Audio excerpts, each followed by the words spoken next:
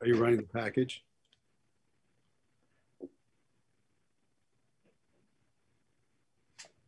Are we live?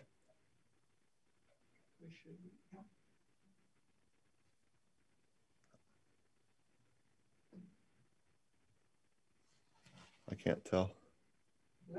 Okay, we're live. We can be seen. We can be heard. I see us. yes, we are live. I can see us. I don't know if we can be heard. I hope we can be heard. Thank you all for your patience. We uh, appreciate it here. Obviously, uh, one of the joys of live streaming events. Uh, and thank you to uh, my guest for uh, for his patience. I Uh, think it so- was that we, we you tried to start with that Alice Cooper clip, and we got and the man shut us down. I, I guess Let's just use I'm- that. I'm I'm definitely not sure, but uh, let's turn it over to you and your talk. Uh, since I've taxed your time quite, quite a bit at this point, uh, I do appreciate everyone's patience. Uh, so, to reintroduce him, Dr. William McBride is going to give his talk entitled "The Rigid Embrace of the Narrow House." Sir, Thank you, thank you, thank you, everybody. So, um, I, I we had planned to start with um, the Ballad of Dwight Fry, which of course is the actor who plays um, Renfield in the 1931 Tod Browning Dracula, and Alice Cooper, whose real name is Vincent Fournier um, has that song, and there's a section where he's just saying, "I want to get out of here," and so that to me hooked up with this talk about being buried alive. So, in the capstone course for English majors here at ISU, I've called the current iter- iteration of the senior seminar Gothic Aesthetic as Cultural Metaphor. We've been trying to get at what defines the Gothic, what might explain its fascination and persistence. I trust you've been Netflixing, Netflixing lately, and you know what I'm talking about. I don't know how people have time to binge watch all of these shows. And if you just are limiting yourself to the Gothic and the vampires, so my students on Thursday said you have to watch Midnight Mass, which I know last night Richard Chizmar brought up uh, as well. And it's apparently great. And I'm looking for, I've served a Midnight Mass. That was a coup back in the day. But I, you know, I hope to get to that one. So in the class, we started in masks with Levinas writing about the face. And Then we discussed Susan Sontag's reasons not to use illness as metaphor. And, you know, like vampirism is a metaphor for contagion, for COVID. I'm a vampire, I bite you, and then you test positive as a vampire, and so on. And then you're locked down in your coffin, your apartment, in a sort of premature burial metaphor. Kristeva then approaches us, approached us with her theory of abjection. Next, the preeminent authority on the Gothic, Professor Jerry Hogle, virtually, literally, zoomed in on us to answer our questions about the Gothic and his distinction between Gothic. We moved on to Nick Groom's wicked, informative intro to and our reading of Walpole's Castle of Otranto. terms of sort of uh, horror post 1970 certainly is definitely dependent upon that right? That's where you get all your slashers or certainly from a, a dependence on the uncanny right? Um, we can't have michael myers for instance without many iterations of the uncanny uh, not least to william shatner right? Um, however for me i think the uh, uh, spooky also implies a degree of the supernatural. And so i think what we we see in terms of spooky and spookiness is that there, there's a legacy of um, almost like cultural heritage inherent in spookiness um, because of that dependency on the cult, supernatural and the idea of both superstition and faith. Mm. And it doesn't necessarily by faith. I don't necessarily mean you have to. Be, one has to be religious, but one does have like traditions uh, that are embedded culturally uh, with cultural norms that can be impeded upon that can create this sort of sense of uh, spookiness uh, as almost like a retaliative uh, retaliatory excuse me um, in relationship to it, and you believe in that sort of thing, right? Um, there's this also degree of like participation in those things that uh, makes you acquiesce to things you may not even believe in. For instance, why do you throw salt over your shoulder if you spill it? Right? We people do that without even knowing why. And the reason why is that Judas spills the salt at the table and it betrays that he's the one who's going to betray Jesus. But most people, you know, as an art historian, I find don't know that story. Um, when I teach, I love I love the origins of all I'm about origins, right? Why do you say bless you when someone sneezes? You know, we don't think about it. I mean, last night, uh, Richard Richard Chizmar said that something drove him batty. Yeah. And of course, you know, you think about vampires.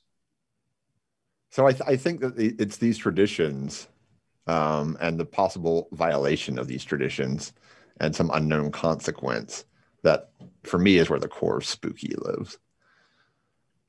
Um, and so, just uh, quickly, uh, so the slasher uh, that's not uncanny for me. That's disturbing in other ways. But, well, I meant the figure of the the killer is an. Oh, okay. Figure. The mask. Yeah, yeah. Okay. Mm. So Poe seduces his readers with a similar question. He has his narrators ask, "What is it? Why is the imp? Why is the usher house? Why is premature burial spooky?" I'm quoting now. What was it? I paused to think. What was it that so unnerved me in the contemplation of the house of Usher? So, my claim is the terror delivered by being buried alive is more terrifying than the threats engineered by, say, those fictive supernatural vampires, evil space aliens, zombies, mummies, ghosts, you know, the ones who are preparing to ring your doorbell at the end of the month. Hopefully, they're preferably doubly masked. But honestly, tricksters wanting treats will not be dressed in any Ben Cooper prematurely buried human costume.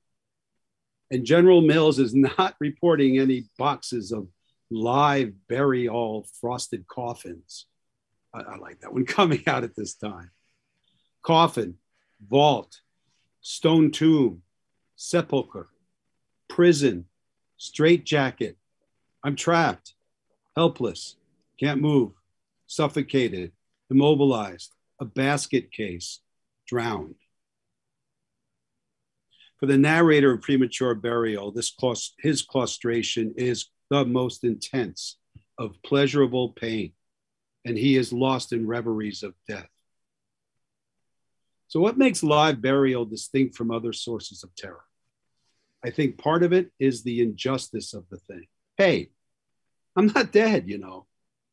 It's a version of the wrong man syndrome, often thematized by Hitchcock, most notably in his 1935 nine film of the same name.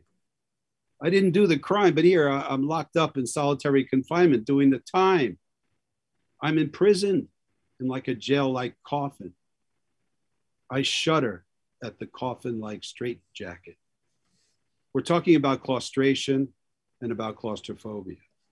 This is a fear of the lack of control of one's environment. And I didn't have to look that one up.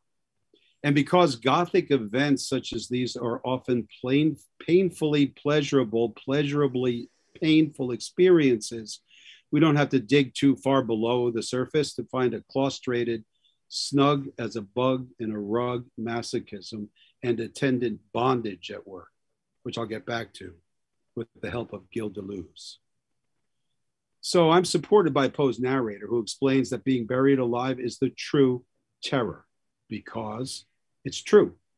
Unlike all the other bugaboo tales, it may be asserted without hesitation that no event is so terribly well adapted to inspire the supremeness of bodily and mental distress as is burial before death. The unendurable oppression of the lungs, the stifling fumes from the damp earth, the clinging of the death garments, the rigid embrace of the narrow house, the blacket, blackness of the absolute night, the silence like a sea that overwhelms, the unseen but palpable presence of the conquering worm. These things, with the thoughts of the air and grass above, with memory of dear friends who would fly to save us if but informed of our fate, and with consciousness that of this fate they can never be informed, that our hopeless portion is that of the really dead. These considerations, I say, carry into the heart, which still palpitates, a degree of appalling and intolerable horror from which the most daring imagination must recoil. We know of nothing so agonizing upon earth. We can dream of nothing half so hideous in the realms of the nethermost hell. And thus, all narratives upon this topic have an interest profound, an interest nevertheless which, through the sacred awe of the topic itself, very properly, very peculiarly depends on our conviction of the truth of the matter narrated. It's the spookiest terror because it's real, it's true. Last night's speaker, Richard Chizmar, said the nonfiction account of Ted Bundy was the most terrifying read for him. Being buried alive happens for real. It can happen to you even if you don't believe in spooks. Incidentally, there's an historical, cultural, critical uh, critique of that word that we can do some other time. Here's the narrator again. There are certain themes of which the interest is all absorbing, but which are too entirely horrible for the purposes of legitimate fiction. They are with propriety handled only when the severity and majesty of truth sanctify and sustain them. In these accounts, it is the fact, it is the reality, it is the history which excites. The sacred awe of the topic itself very properly depends on the truth of the matter. Then, like the narrator of uh, The Imp of the Perverse, who for the first part of that text and this one seems to be reporting on his topic, but then comes the bombshell. What I have now to tell you is of my own actual knowledge, of my own positive and personal experience, of being buried alive. So it can really happen. In fact, it happened to me and it's in the first person. We're promised the real experience of the genuinely spooky. But spoiler alert, if you haven't read Premature Burial, real truth is that the coffin he's clawing at, that we're thrilling at, turns out to be a boat that he finds himself on as he's recovering from his cataleptic seizure. Uh, we thought he was, um, you know, buried the story's been a lie. In most cases, like Miss Madeline Usher's, the subject suffers from catalepsy, are mistaken for dead, and then buried alive. In a 1980 Hastings Center report entitled, like mine, The Rigid Embrace of the Narrow House, but he goes on to subtitle it Premature Burial and the Signs of Death, Mark Alexander chronicles the 18th and early 19th century mistrust of medical science, the uncertainty of the verification of death that fed the premature burial fear. And folks like Madeline Usher are buried quickly to prevent eth- unethical doctors from stealing cadavers from their research for their research. And here's a spoiler alert this is the linchpin of Roger Corman's premature burial plot, which I hope we can show some. Poe's narrator describes his seizure. I sank little by little into a condition of semi syncope or half swoon. And in this condition, without pain, without ability to stir, or strictly speaking, to think, but with a dull, lethargic consciousness of life and of the presence of those who surrounded my bed, I remained until the crisis of the disease restored me suddenly to perfect sensation. At other times, I was quickly and impetuously smitten. I grew sick and numb and chilly and dizzy, and so fell prostrate at once. Then for weeks, all was void and black and silent, while the closest scrutiny and the most rigorous medical tests failed to establish any material distinction between the state of the sufferer and what we conceive of as absolute death. I'm going to do the biographical fallacy now. As a sufferer of epileptic seizures, Poe may have transposed the, his obsessive fear of wrongful burial as a result of catalepsy. And as a side note, um, uh, the list of famous, brilliant sufferers of this sacred disease is mind boggling. In The Falling Sickness, A History of Epilepsy from the Greeks to the Beginning of Modern Neurology, uh, from the John Hopkins Press um, book. Uh, neurologist John Hughes lists, here comes like a Billy Joel bad, uh, Socrates, Plato, Aristotle, St. Paul, remember his splinter on the in the flesh on the road to Damascus is an epileptic seizure. Joan of Arc, Martin Luther, hence it's known as the sacred disease. Dante, Dickens, Byron, Dostoevsky, Tolstoy, Tchaikovsky, Beethoven, Handel, Gershwin, Neil Young, Prince, Adam Horovitz of the Beastie Boys, and Lil Wayne just apparently came out of the closet as an epileptic. And yes, Poe abused drugs and alcohol. So these could be chalked up to, to withdrawal, but he experienced seizure, seizures nonetheless. So these seizures can be cataleptic and epileptic, can be transcendent realms. And they're described by monks, nuns, yogis, Sufis, saints, sages, and mystics who are all characterized by emotionlessness, a stillness. Anchorites and other spiritual hermits had themselves immured, subsisting on minimal food and water. One of St. Jerome's acolytes spent his entire life in a well, in a cistern, living on figs, apparently five a day. All but one of Poe's wrongful interment stories are told from the outside, either from an observer or a victimizer. Montresor walls up a living, breathing Fortunato in a niche in the cask of Amontillado. The narrator tells us of Madeline Usher's live burial, and the black cat narrator walls up a living, breathing cat by mistake and his mutilated wife on purpose. So it's the outside, right? But it's it's really only a first person narrative of being alive, of being buried alive that can deliver direct shudderings. In, and I'm, we're queuing up Roger Corman. In Roger Corman's 1962 adaptation of the Poe story, we get to experience firsthand, interior monologue and all, the burial of the British aristocrat Guy Carrell, the stand in for Poe's narrator. Let's see.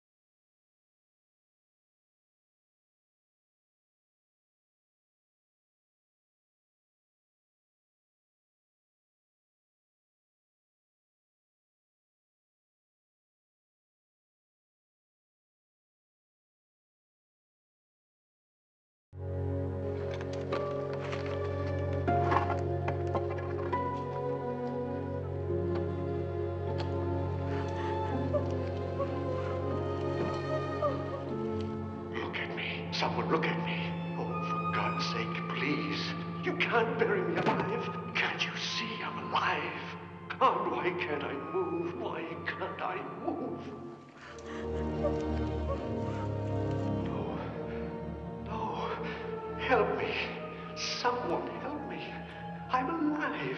Can't you hear me? Can't you see my eyes? Someone. I'm alive. Can't you hear me? Can't you see my eyes? Can't you? I'm alive, alive, alive. You'll be leaving, I suppose, after the reading of the will. Why should you say that? No reason. I merely thought that under the circumstances you might find this house rather disturbing. To your conscience, I mean. Kate, are you implying that Emily is in any way responsible for Guy's death? No one is responsible. He died of a heart attack induced by shock. Don't you understand? Yes, I understand. The fact is, he brought on the shock himself. The episode in the crypt and all the others, they were planned, contrived. Don't you see? Planned? By whom? By Guy himself. The strange way he wanted to die. Stop talking about him. Stop talking about him.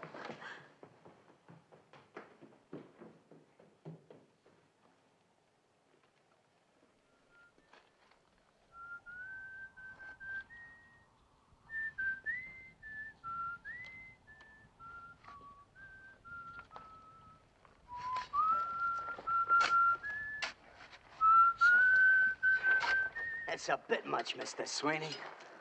What is, Mr. Moore? The old jumpman sending us out here to dig up this one. I mean, his own son-in-law. Well, one skiff's pretty much like another. Oh, we struck wood. Now, where's the bloody crowbar? I, I believe I left it up on top. Well, Mr. Moore, would you do me the kindness to fetch it down? Yes, I will, Mr. Sweeney.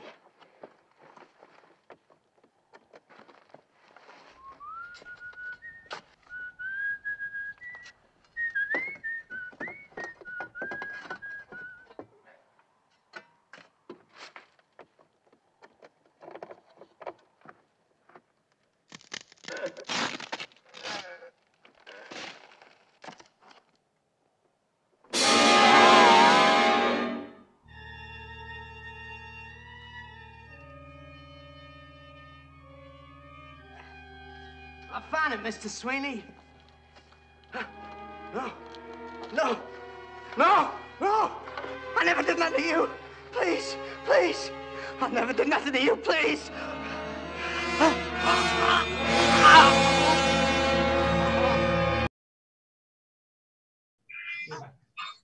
And we're back.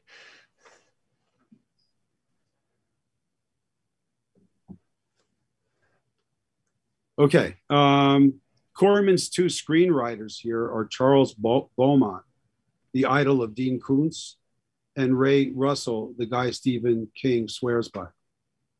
And by the way, Corman's movie was shot by cinematographer Floyd Crosby, the dad of David Crosby of Crosby, Stills, Nash and Young.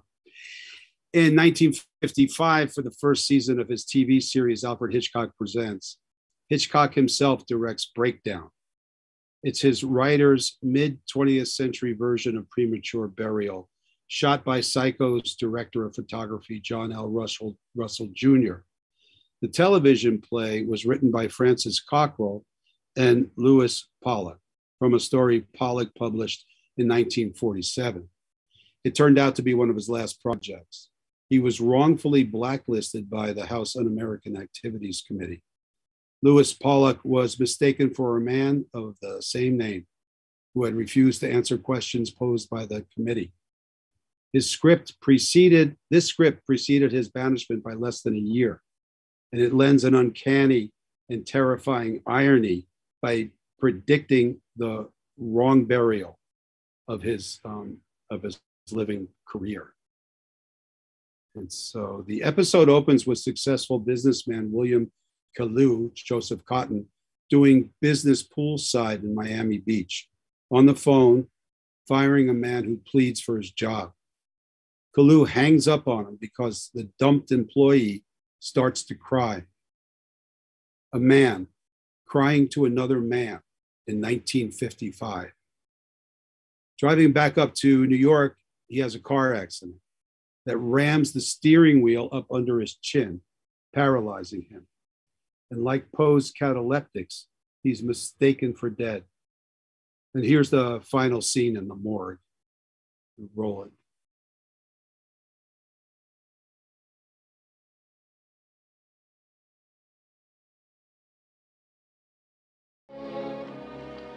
Emily.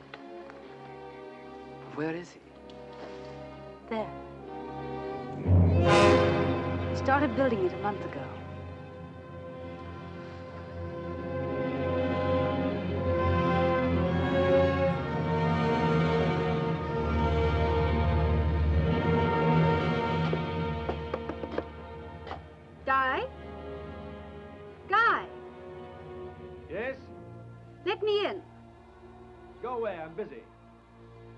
Guy, please open the door. Emily, didn't you understand me? I said I.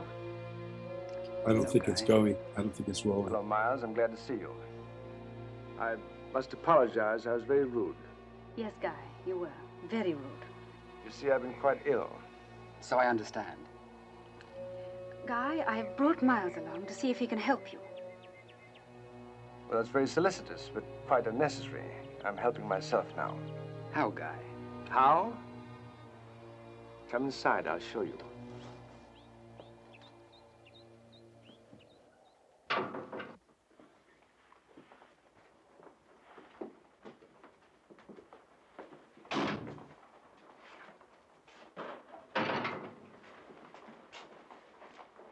This is it. My grand plan. What's it be? Some liqueur, brandy, amontillado? Guy, I brought.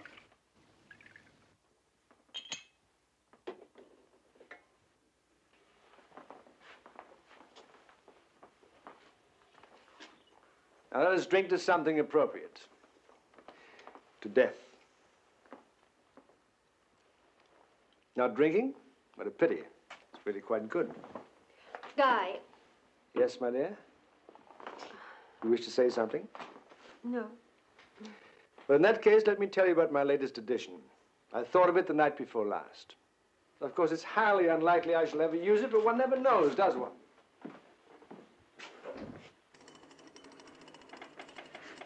Permits of easy egress and is completely impassable from the outside. A simple arrangement, I grant, but effective.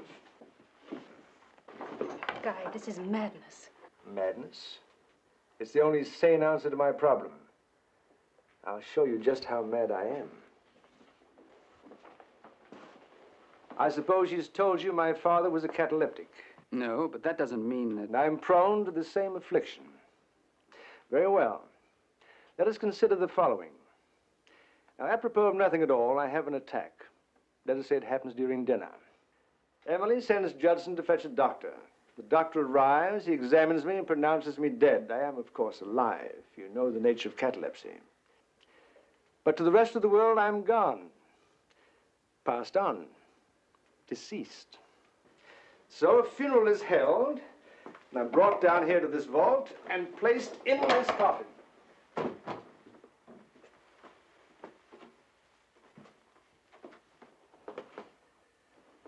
mourners have departed. The doors are both locked, and I'm alone. Now pay close attention.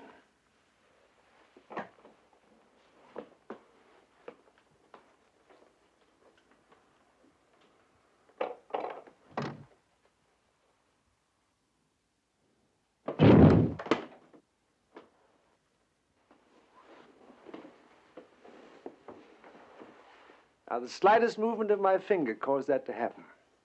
I'm now free of the casket. But I'm still capable of only slight effort. So. But you say, supposing no one hears the bell, the departing mourners lock both the doors. Supposing no one hears the bell, the departing mourners lock both the doors. And we're back.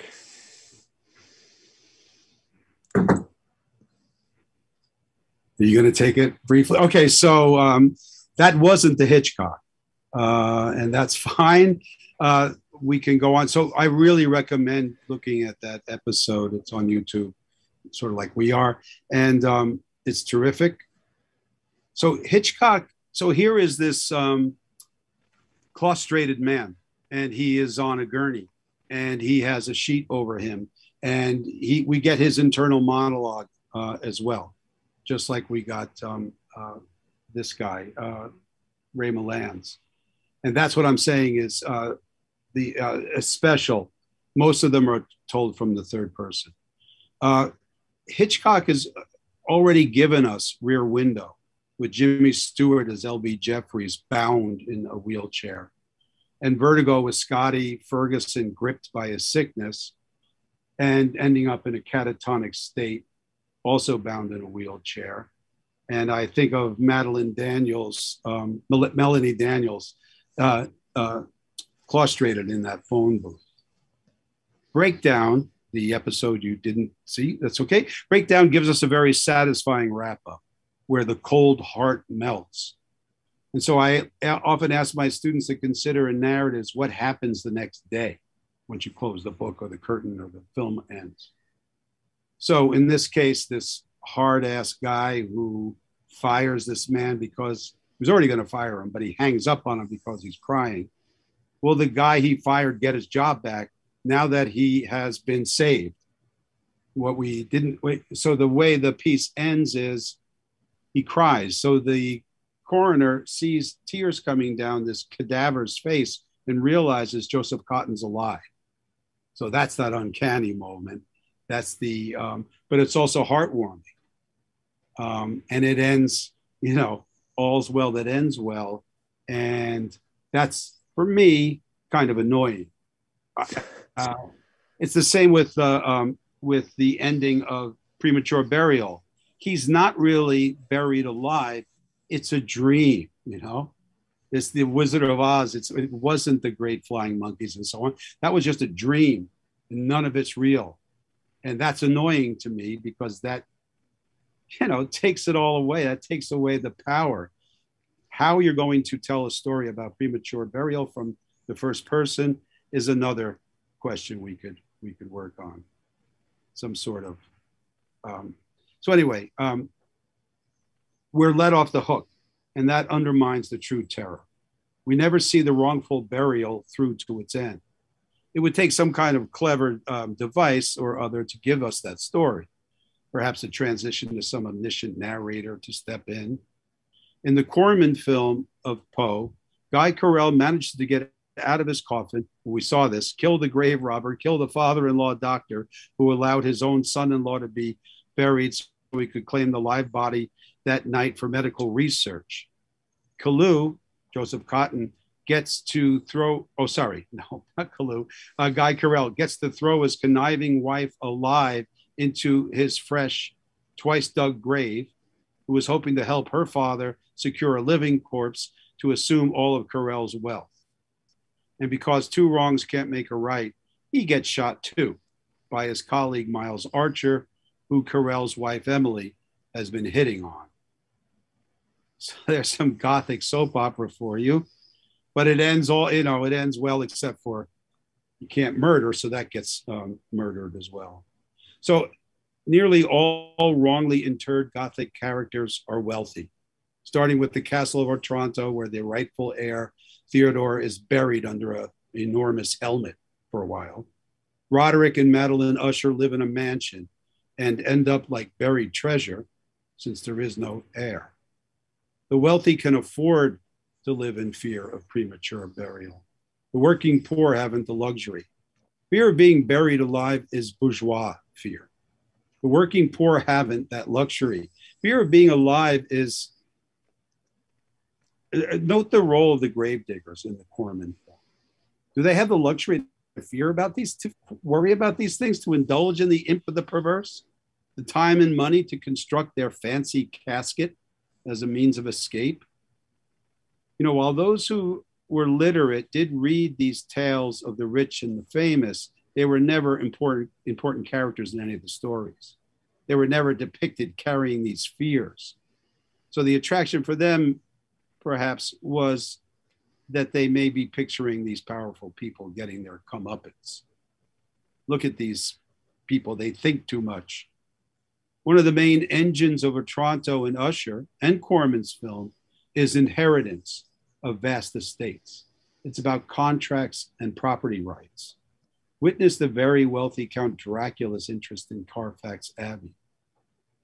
And going way back, in chapter 16 of Numbers, Yahweh tells Moses that he's burying alive Aaron and his crew, throwing them into the pit and everything they own with them the earth close, closes over them and they die and are gone from the community. They are swallowed up.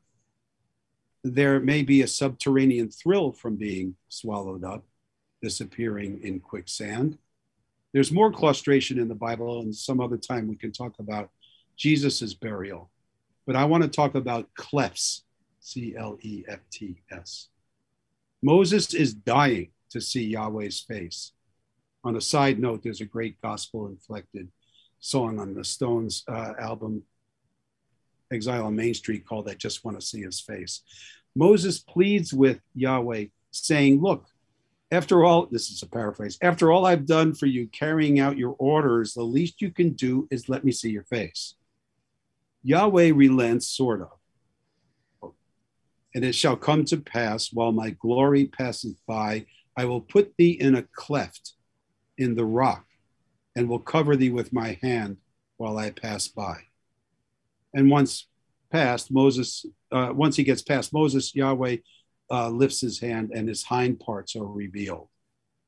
And I'm not kidding. So anyway, in Shakespeare, so I'm talking about these clefts, these these being claustrated, you know, coffin, cleft in a rock. In Shakespeare's The Tempest, when Prospero gets to the island, he discovers Sycorax has claustrated the sprite Ariel in a pine. And Prospero uses that imprisonment on Ariel to do his magic bidding. Prospero also goes on to claustrate Caliban in stone. In this fall's drama class, just this week, we read and watched A Streetcar Named Desire, witnessing the gothic and vampiric vibe of Blanche, the wounded femme fatale and English teacher, and the self described tarantula. She tells Mitch, however, I thank God for you because you seem to be gentle, a cleft in the rock of the world I could hide in. And when she sees her sister's ruinous, creepy apartment in New Orleans, she says, quote, never, never, never in my worst dreams could I picture. Only Poe, only Mr. Edgar Allan Poe could do it justice. Out there, I suppose, is the ghoul haunted woodland of Weir. Oh, those English teachers. There's a libidinal economy that funds claustration in the masochistic desire to be bound up. Hamlet the privileged prince and Goth student in masochistic desire. Sorry, uh, I reread. Okay, Hamlet, the privileged prince and Goth student, all dressed up in black and home from the University of Wittenberg to attend his dad's funeral and his mom's wedding to his uncle. We're getting some more soap opera. Reveals to Rosencrantz and Guildenstern, quote, Oh God, I could be bounded in a nutshell and count myself a king of infinite space, were it not that I have bad dreams. And speaking of academics intrigued by claustration, there's this professor of mathematics and history at the University of Graz who writes Venus impels in furs, none other than Leopold von Sacher Masoch, who, like Marquis de Sade, unwitting, unwittingly lends his name to a pathology. Masoch writes a story about a wealthy, no surprise, Austrian nobleman named Severin von Kusiemski. While in his essay, Coldness and Cruelty, Gilles Deleuze argues that Severin, the masochistic male subject, is impersonating his father in order to humiliate him. I read the role of Wanda, the dominatrix, who, let's not forget, is recruited by the submissive male, who's really in charge. Uh, he recruits her to impersonate the mother, a stern one, no doubt, who claustrates the wealthy and powerful man by day with ropes and within a vault in the cellar. And because fabulously wealthy herself, Wanda can summon her three elder, slender black servants, servant girls, like Dracula's three brides, who overwhelmed Jonathan to his paralyzed delight, to throw him to the ground they throw him to the ground, Severin, tie his hands and feet, and secure, quote, my arms behind me like a man about to be executed. I could hardly move an inch. They drag him to the cellar where they flung me into a dark vault, a veritable, veritable prison cell. The door closed behind me. The bolt was shot and the key ground in the lock. I was buried alive and loving it to invoke Mel Brooks. It's Poe's story. In Poe's story, the narrator encounters an invisible fiend who acts and talks very much like a scolding maternal dominatrix. Quote, methought I, methought I was immersed in a cataleptic trance of more than us- unusual duration and profundity. Suddenly, there came an icy hand upon my forehead, and an impatient, gibbering voice whispered the word, Arise, within my ear. The cold hand grasped me fiercely by the wrist, shaking it petulantly while the gibbering voice said again, Arise. Did I not bid you arise? Get thee up. Come with me into the outer night and let me unfold to thee the graves. I looked, and the unseen figure, which still grasped me by the wrist again, said to me as I gazed, Is it not, oh, is it not a pitiful sight? Uh, I'm going to cut this, but he, he uh, this this this dominatrix, we don't know the gender, opens up the graves and it's a great light show. And I recommend um, Premature Burial. In Ivan Goncharov's 1859 novel about a recumbent slacker named Oblomov, who it takes 100 pages for him to get out of bed, we hear his stern, butch friend Stolz upbraid him, gravely warning that Olga, the angel from who, for whom Oblomov is intended, cannot lift him out of the swamp, saying, I am voicing not only my own wish, but also that of Olga, for she desires you not to perish utterly, not to be buried alive. She desires that at least I make an attempt to dig you up from the tomb. The masochist fantasizes about being claustrated. Wanda is the mother, mother who swaddles Severin. He's cradled. He luxuriates in his cocoon, in the nutshell. And simultaneously, he's being punished. And maybe it's no surprise where we're headed. In his essay, The Uncanny, Freud writes Too many people, excuse me, too many people, the idea of being buried alive while appearing to be dead is the most uncanny thing of all. And yet, psychoanalysis has taught us that this terrifying fantasy is only a transformation of another fantasy, which had originally nothing terrifying about it at all, but was filled, filled with a certain lustful pleasure. The fantasy, I mean, of intrauterine existence. So, our rat terrier, Phoebe, noses her way under a blanket and expertly wraps herself around, ingeniously stepping on part of the bottom of the blanket, revolving herself until she is as snug as a bug in a rug. Most of us humans say it's because she was taken away from her mother too soon. And what do we do with a newborn? We swaddle the newborn, we wrap the newborn up to maybe the transition from that womb. And maybe we're getting that echo with this premature burial and this claustration. In an odd, delicious, delicious scene, which you've already seen, uh, early on in Corman's premature uh, burial, uh, you can see some of the pleasure inherent in this pain. Guy Carrell proudly demonstrates all of the devices he's developed to save him from being mistakenly buried alive. And I hope you saw as he excitedly got into his purple, softly rather than rigidly padded coffin. And he grins ear to ear as he gleefully lowers the heavy lid. He sort of minces a little bit. So we play that clip and we're back.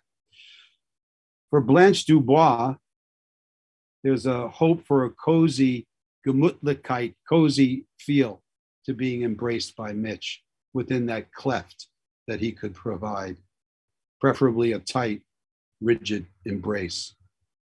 But the terrifying end of that play, after a drunken man rapes his sister in law while his wife is having their baby, is that the heartbreakingly gentle English school teacher has a straitjacket waiting for her as the curtain falls that's what I have. I've got some other things to talk, you know, questions and things, but um, that's the paper, and that's and I want to thank you for pushing me to work on this because I'm going to do more with this. And just reading it out loud, you, you know, as you know, Matthew, you get to see what's working and what's not. So I, I have a couple of just notes I made. So uh, or deviations where my mind went. So if, if you'll indulge me there, I'd like to get into a couple of them. Um, I might go backwards here. When you were talking about Sacher Masoch, um, another uh, play came to mind. Uh, Jean Genet's The Balcony uh, comes to mind uh, with sort of the performativity of the bourgeois and the necessity of the other to confine the person, particularly the judge uh, in the yeah. balcony. Well, I mean, so you'll see these folks of power being restrained. Um, think it's um, is it Ken Russell's I think it's Ken Russell's The Devils, where there's a there's a judge who is being whipped. He's you know, uh, you know often that's the case. So you know that's that's Deleuze's argument that it's the powerful who are um, in control of folks all day. So at night they pay someone to you know they they let go of that power. You know they don't have you know it's a burden for them, but also he argues that it's a hatred of their father and that that's being beaten um, out of them. They're humiliating their father. And now, you know, maybe that's kind of, you know, twisted logic. Um, uh, you know, welcome to Freud and, and Gilles Deleuze. But it does seem to have some, some explanatory power of um, the inter, interuterine fantasy. Uh, he, he's got me there. I, I like I, I think that's there's something going and, and you know my dog Phoebe makes it, it proves the point. Sure. Um, it's interesting too because there's like a legacy here in some ways. It's um, almost an inversion of the archetypes that come out of the Commedia dell'arte, right? With the uh, either the Doctore character um, and its relationship to well, it's like the relationship to Columbina, right? Uh, in in Commedia, just how the um, it, it's the comic iteration of it, which we were talking a little bit about this too. The, the, if you see too much of the villainous iteration, it becomes comic, right? No. Um, and that's the same thing I think that happens here in its own way, right? That if the scene is inverted, it becomes comedic. Right, like what you were saying, if we saw Dra- Count Dracula making a chicken for to serve to Jonathan Harker, yeah, that that's a, I like that one. Also, last night, uh, you and um, your guest were talking about watching Abbott and Costello meets Frankenstein, sure. and how it's funny, but it's also he's right. It's frightening. I mean, depending on how old you are, but there are those moments where it gets creepy all of a sudden, and Lou, Lou Costello isn't going, wow, you know, uh, he's just afraid.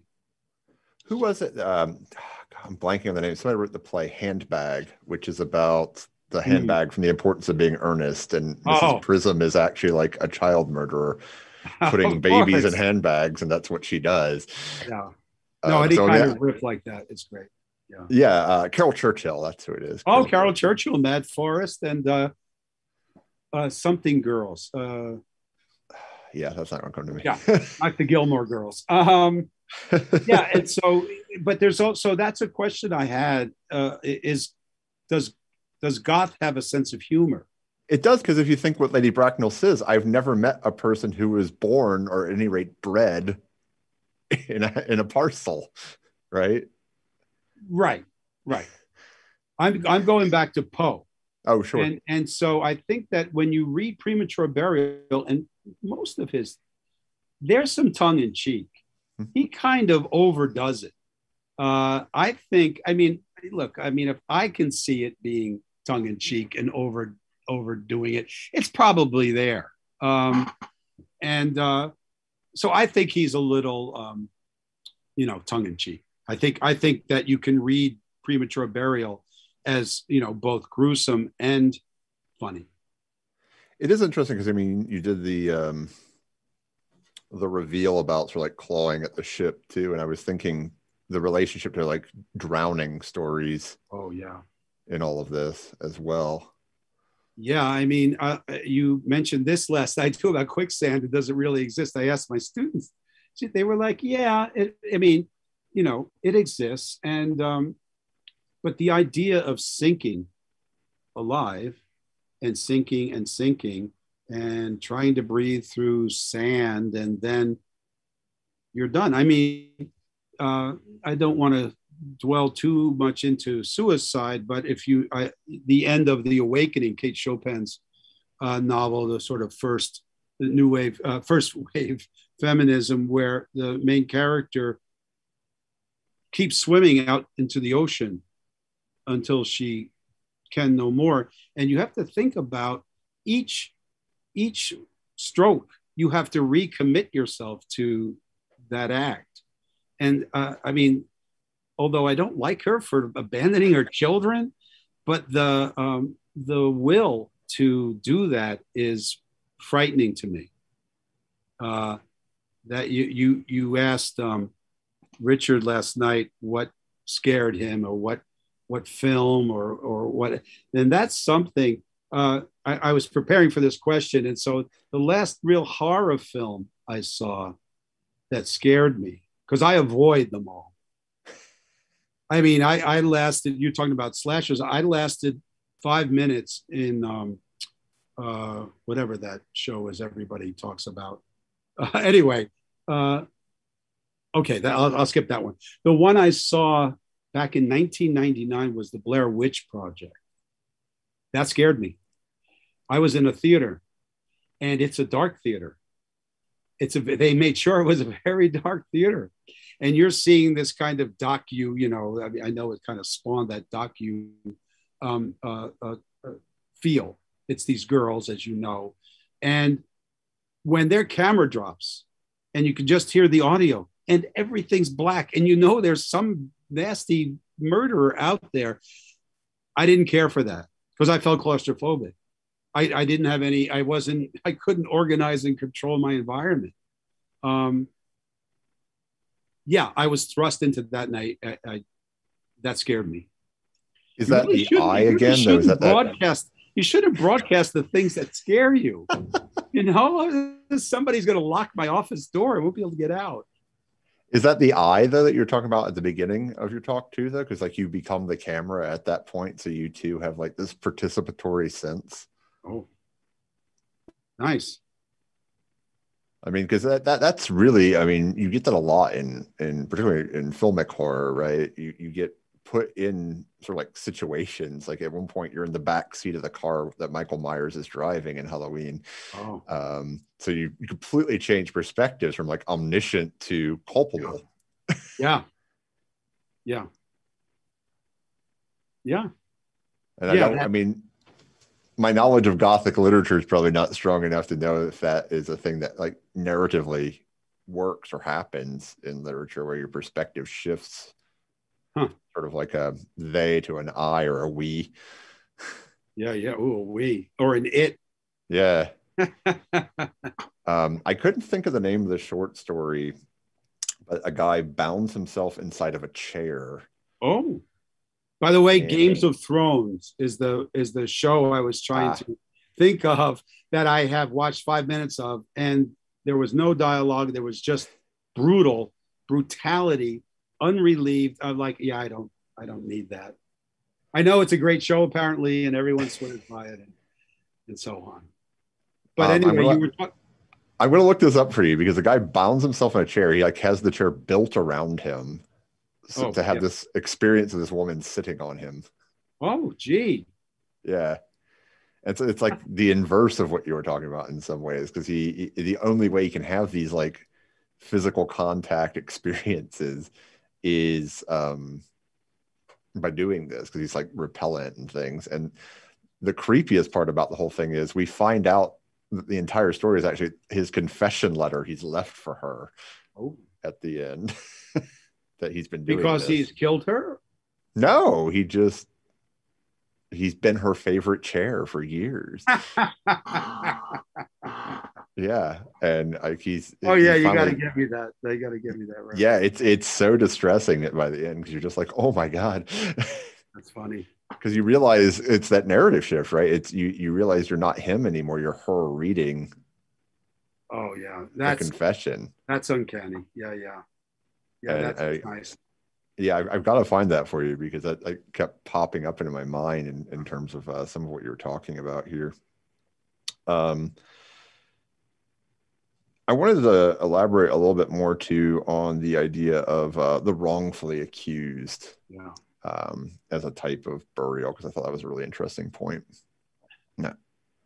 Yeah. Oh, well, I mean, um, uh, it, yeah. Go ahead, please. Well, you you gave uh, an anecdote that was very apt, obviously, in terms of uh, the, the, the film you talk about things.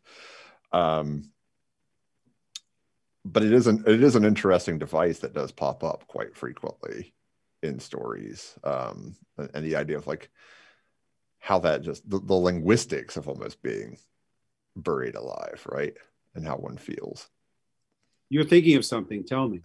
Well i mean there's a couple different things i'm thinking i mean i'm thinking about like historical wrongfully accused and i'm also like uh, Mamet comes to mind mm. um but I mean, it, it's not an uncommon device, right?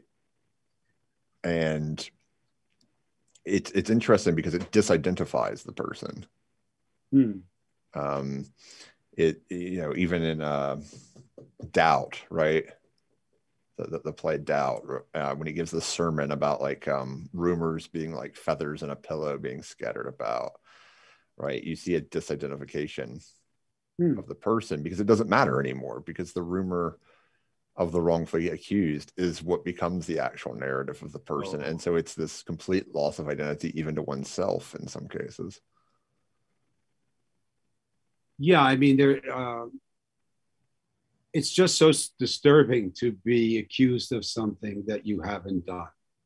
And you can see the dra- the dramatic possibilities there right? I mean the the cla you know if, if drama is about two forces uh, smashing into each other and then the pathetic pathetic i mean the, the scream of someone being walled up you know? Uh, uh, please no you know being taken away in a straitjacket uh, whether they're guilty. I mean you know renfield he's in a straitjacket. I mean seward lets him out but um, that's that's some of the horror for me. And as i was trying to say at the beginning and taking taking poe's cue that vampires and ghosts and witches and all of that um, to a certain extent those are the kids that show up. They can show up on your front porch uh, on halloween. But this i mean maybe you'll get somebody showing up in a straitjacket. I mean it's kind of hard to take your candy uh, but i mean the buried alive and walled up in a wall that can happen.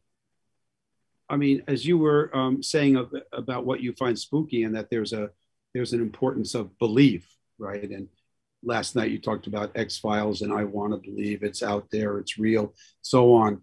Um, but that's a leap. And there is no leaping necessary in being buried alive. It's happened. right And so that's terrifying, at least Oh, Poe sure. saying, Poe saying that's the most terrifying. And look at, I'm Poe, you know, I mean, I should know. yeah i mean and he he does do the i mean the sort of iteration of again this buried alive while active and present too. Like if you think of the telltale heart uh, as well right? It's almost a, again one of these inversions where the person who is capable of being up and moving around can't be because they need to be in proximity. I mean uh, you were talking about gothic soap opera of course. My favorite is dark shadows. Oh, gosh. uh, you know, the first, I don't know, 400 episodes are dependent upon her having buried her husband in the basement. That was on every five days a week, wasn't it? Yeah. I mean, talk about slow. I I maybe watched that like three times. I mean, it was I think I was doing other things, but yeah, Barnabas Jones. No, uh, Collins. Collins. Yeah, yeah. I can still see him. Yeah, in my mind. Yeah. But like the, the matriarch of that family refuses to leave the home because she buried her husband alive in the in the basement. Oh. I'm glad we're Uh, recording this. I can go back and take take my notes. the, the bibliography that comes Yeah. out of these.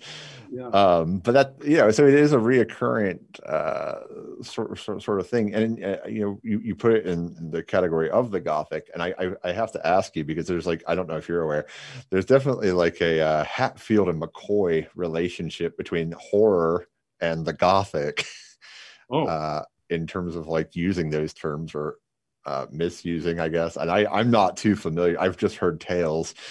Uh, so I wanted I wanted to get your uh, your opinion on that because I, I I still don't understand the feud myself. Well, I mean, what I love is the Hatfield and McCoy because I'm now thinking of Gothic things that happened in New England and then the Southern Gothic, you know, how those are Yeah. distinct in a certain way. Um, I don't know if Jerry Hogle is is watching and if he's texting, if he's chat commenting, chatting, but um, he's got a distinction that maybe helps, and that is the distinction between Gothic terror and Gothic horror.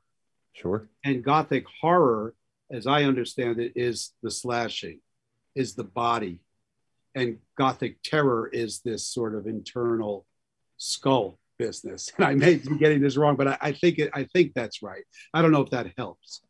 But no, I, I'm always curious what different people's takes on a concept are. so my so the gothic horror does not interest me. The the stabbing and the bleeding and the you know I, I don't need that. But the mind game, you know, the burying alive, it's disturbing. But I'll watch that because there's no blood and it's a mind game. It's a mind game, let's call it. Um, and those intrigue me. But the other, the horror stuff that, you know, I, I suspect, you know, I mean, the vampire, that's got both sort of, doesn't it? I mean, it's got Sure. blood.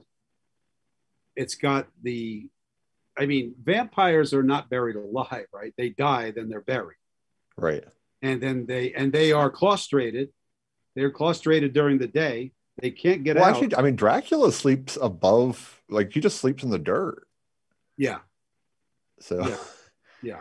Nosferatu's in a coffin. Well, Yeah. actually, he put in, yeah, in Tod Browning, yeah, he's in a coffin. Right, right, right. And uh, Nosferatu, and then that, that coffin gets busted open, and he's. oh yeah, Um, but what I love about that is, I mean, we'll go too far, but um, the undead. So that's a mind game because you're not alive, you're not dead, you're this impossible linguistic structure, undead. What the hell is that? You know, I mean, undead. And so it's perfectly gothic because it's both and. I mean, that's the, that's the brilliant logic of the gothic is this fluidity. You see it in gender fluidity. Um, the most recent Dracula, I mean, um, Netflix series, and so oh yeah, the BBC one. I haven't, you know, I saw it, I turned it on. I'm like, yeah, there's lots of episodes. I don't have the time. I've got to work on a book on Dracula. So, um, uh, but this fluidity and it's, you know, this rejection of either or, you know, either you're alive or you're dead, either you're male or female. So, no, that's thrown out the window in a in an intriguing way, and I think that's part of the heart of the Gothic is that attraction of the both and. Sure. I mean, I, I I- I can definitely see that. And to this, I mean, not to belabor a point on Dracula, but um, Har- Harker observes of him that he thinks he must be practicing being in the box. Oh, yeah. No, he's not harping. It's good. And well, I just it just is you know coming to my brain. Yeah. Um, it's funny because most people don't like that first quarter of the book. Oh. Um, because I mean, it was its own book at one time, right? But then it just uh, it, it, it evolved into this larger thing. Um, so let's see. Uh, let me ask you a more broad question about sort of like your research here. What drew you in toward Poe uh, as the exploration point of this topic? Um, mostly because you you tend to, as you've already sort of pointed out, the idea of like Southern Gothic. We we do, I think, generally think of Gothic being a, a continental European British literary construct more so than an American concept as well. So I'm just I'm- I'm curious about what different distinctions and moves led you to where you are. Yeah. So, I mean, as I said at the beginning, this is where I am in the syllabus of the of the senior seminar, um, which I didn't plan this. Um, but so I got interested in Poe, and uh, in uh, most recently working backwards from Stoker. So Stoker is late, right? 1897, and but he keeps being the novel and his work keeps getting talked about in terms of the Gothic. So I'm doing this excavation to use all these metaphors of digging there um, um, uh, to try to get at the Gothic, so I can get my hands on that, so I can talk about it with some sort of um, some sort of something. And so, I mean, the first day of class uh, in August, uh, a student, um, I'll call her Anastasia, uh, asked me, What is the Gothic? I was like, Okay, let's spend the semester trying to answer that. Let's bring in the expert, Jerry Hogle. He'll come in and try to tell us. So, I mean, because the Goth has always seemed to me to be a, a, a slippery adjective. And so, uh, I mean, I knew Goth people in high school, right? When the earth was still cooling in the 70s. Um, you know, I mean, Alice Cooper, uh, you know, and then The Damned and My Life with the Thrill Kill Kult. And I mean, we, you know, we could keep going. I mean, you could even say the Cocteau twins are goth. But um, did I do that too fast? Um, That's fine. He, um, so, so I, I went backwards from Stoker trying to get at, so you, you know, everybody tells you you go back to the Castle of Otranto. You got to start with Walpole because then when he did the second edition of Castle of Otranto, he he came clean. You know, the first time, the first edition, it was this manuscript unearthed from, I guess, the 14th century, which is this great romantic um, Goth desire, right? We want the castles, we want the good old days. We don't want modern science. We want the ruined castles and so on. And in fact, Walpole, you know, um, builds this castle that's, you know, trying to look like it's old and so on. Um, so, yeah, and so the second edition is called A Gothic Story. And apparently that's the first time that adjective is used in these terms to go back to the Goths and the, you know, the good old days when, you know, men were like annihilating Christians or however, you know, and it's all mixed up. I mean, it's both and. There's a there's a bunch of Christianity in the in in the Gothic, and you know, it, it's raised up and brought down, and it's pain and pleasure, and you know, it's both and, and that I think is is what's so part of what's so attractive about about goth. And boy is it in blossom in october.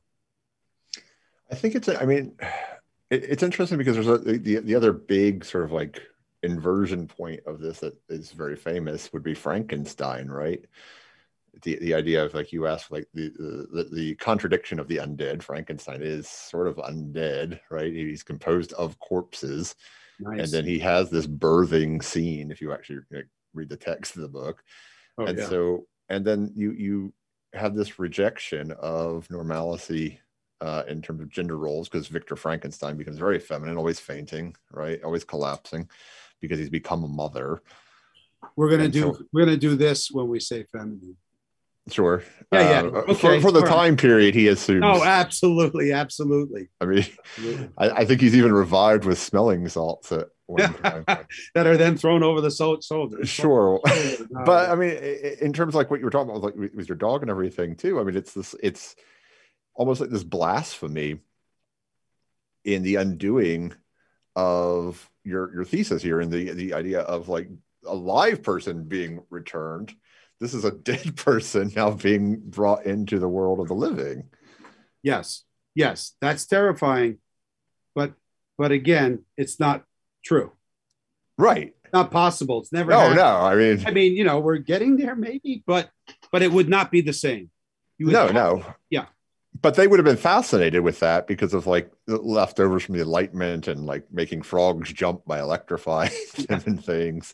Right, and that's in that's in premature burial. They, yeah. they have a battery that they tr- they work, and it's in the Corman film too. So that's a battery that's, that tries to jolt.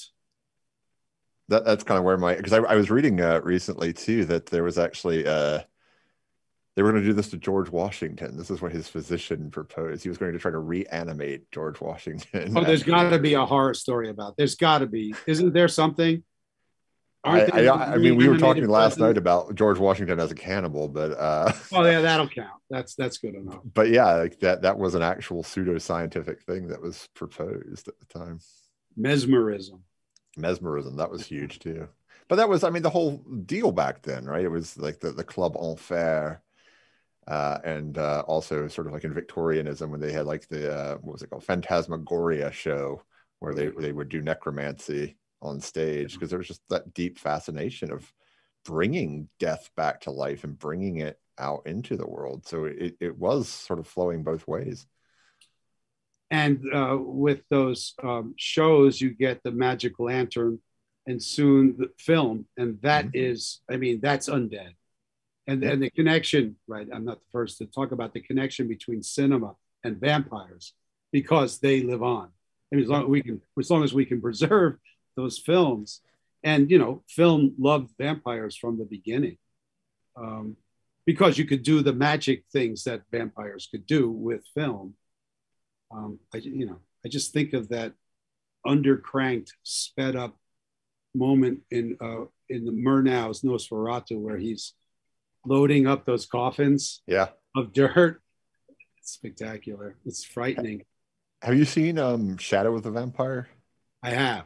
Okay, that's the same, right? Because that's his obsession, right? He wants to be remembered on film. Apart from wanting to eat the woman, he wants to be remembered on film. That's why he agrees to do it. And it's so weird to think like you're already immortal, but you want to be extra immortal just in case. and Cop- Coppola uses that in his, uh, you know, illegally named Bram Stoker's Dracula. But uh, right where um, uh, a very young Dracula walks into London, and we hear the flicker, and it's um, it's and, and we see. I think we're seeing um, uh, some very early 1897 um, uh, film. Uh, the, the director is is escaping me right now, but. I yeah, think- in, I in think the in the cinema, uh, cinematographer where they go and uh, Yeah, the yeah. wolf appear. Yep, Yeah, yeah. Uh, I know exactly what you're. talking about. It's such a weird scene too. Actually, because you brought up Deleuze, um, in my mind, actually, that scene is the best example of um, a crystal image, uh, because you do get the scene is reflected in a mirror and is reflected in uh, what's going on in the projected film at the same time. So Is it uh, like a vertigo? uh, it's it's even better 'cause it's three, so it's even more crystalline. I'll have to go back and, and look at that part.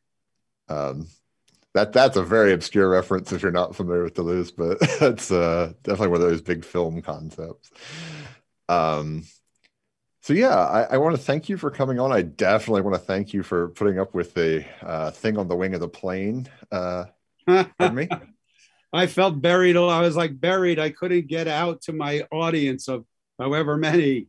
Uh, yes, um, it, no, it was great, Matthew, and thank you so much for inviting me.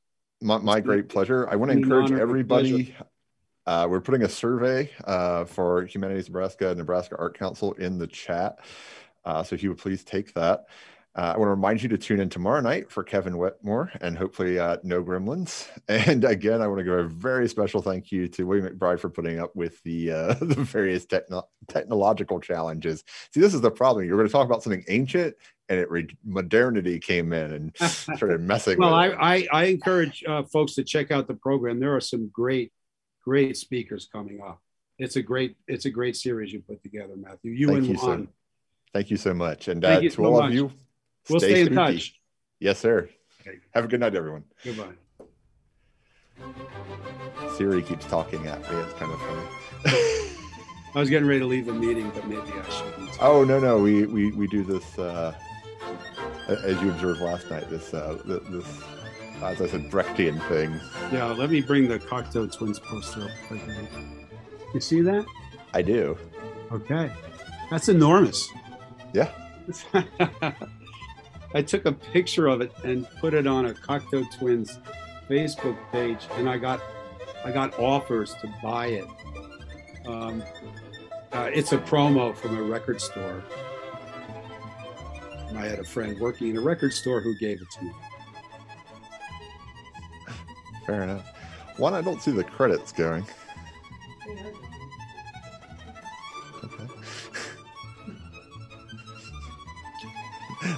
There they go. I was saying, yeah, was it, it was, my, my my computer was just being a pain. I think. I, I I don't know. It's been it's been an adventure this evening. It's been a day. It has it, it has definitely been. Uh, well, you'll remember me particularly. or, yeah, Mercury is in retrograde. I'm I'm reminded. So per, perhaps that's what's going on. But yeah, and thank you for uh, the shout out. I hope you're able to attend some of the other people uh, as well. Uh, it's it's definitely a, a huge lineup for us this year. It's spectacular. I mean, you've got, you know, I was a little um, uh, cowed having to follow Richard Chizmar. You know, I mean, I'm not promoting a New York Times bestseller, uh, but it, I, I felt I felt I was in good company, so I appreciate it.